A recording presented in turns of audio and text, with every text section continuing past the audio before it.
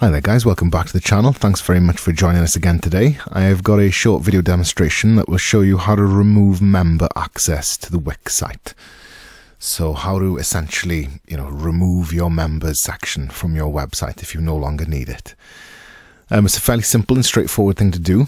Um, it's done through the Pages menu. So on the left hand side of the website editor, if you go to Pages and Menus here, which is the green icon, give that a single click and then you'll see in the first section of the menu here that you've got your members pages there. Okay, so if there's a particular page that you want to get rid of uh, specifically, um, if you want something to kind of disappear for whatever reason, you can go hover over any of the page names, and then at the far right hand corner of that little box, you'll see these three little dots in a circle. If you give that a click, and then you can simply delete a page like that.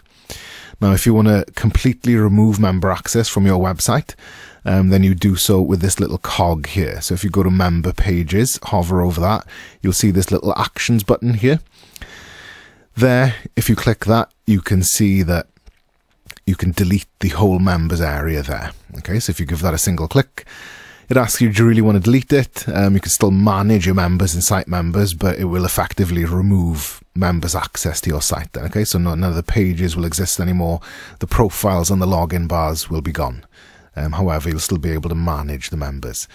Once you click yes, then that'll disappear, and that will be how to remove members' access from your Wix website. And that concludes our video tutorial. If you need professional one on one custom support from Wix experts, then click the link in the description below. Even if you need a complete rebuild or redesign of your site, the support team of Wix web developers is here to help you.